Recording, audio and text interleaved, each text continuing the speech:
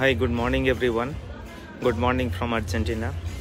Uh, আমাদের আজকের আলোচনার বিষয় যেটা ছিল সেটা হচ্ছে একটা বিশেষ রকমের কিডনির রোগ যাকে বলা হয় আইজিএ নেফ্রোপ্যাথি নাও এই আইজিএ নেফ্রোপ্যাথি একবার কারুর যদি হয় তাহলে কিন্তু সেখান থেকে ডায়ালিসিস বা কিডনি ট্রান্সপ্ল্যান্ট দরকারের সম্ভাবনাটা প্রায় খুবই বেশি মানে নিশ্চয়ই নিশ্চিত বলতেই পারেন।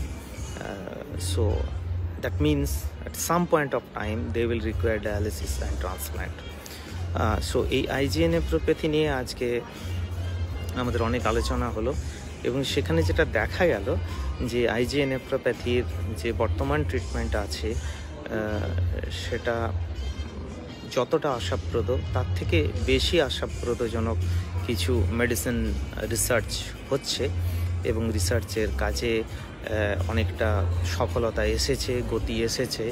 তো আমি এক্সপেক্ট করি যে near future next three five ইয়ার্সের মধ্যে আইজিএন প্রভৃতির ভালো ট্রিটমেন্ট চলে আসবে, যেখানে আমরা বলতে পারব যে আমরা কিওর না করতে পারি, কিন্তু অনেক ক্ষেত্রেই দেখা যাবে হয়তো ডায়ালিসিস বা ট্রান্সপ্ল্যান্টের দরকার হবে না। Thank you thank you very much